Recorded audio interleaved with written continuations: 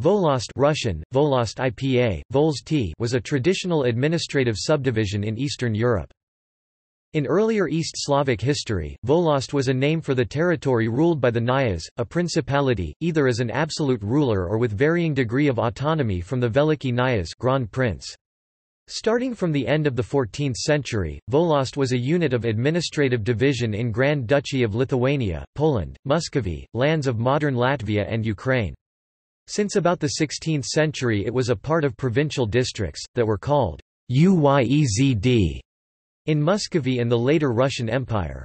Each Uyezd had several volosts that were subordinated to the Uyezd city. After the abolition of Russian serfdom in 1861, Volost became a unit of peasants' local self-rule. A number of Mirs are united into a Volost, which has an assembly consisting of elected delegates from the Mirs.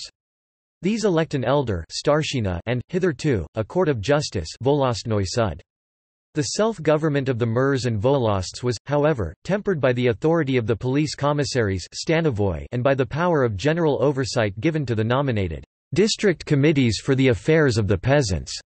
Volosts were abolished by the Soviet administrative reform of 1923–1929. Rayons may be roughly called a modern equivalent of both Volosts and Uyezds.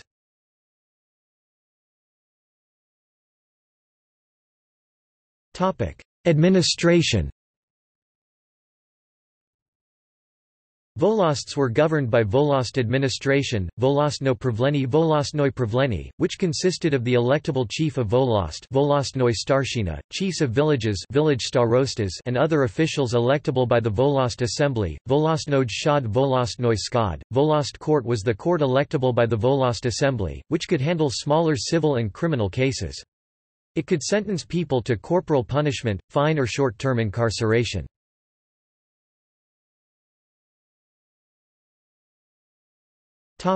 Russian Federation In modern Russia the term has a different meaning.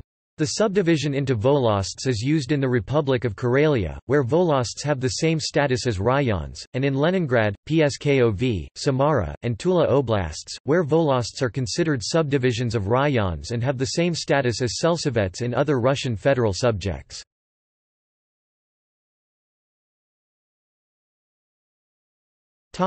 Notes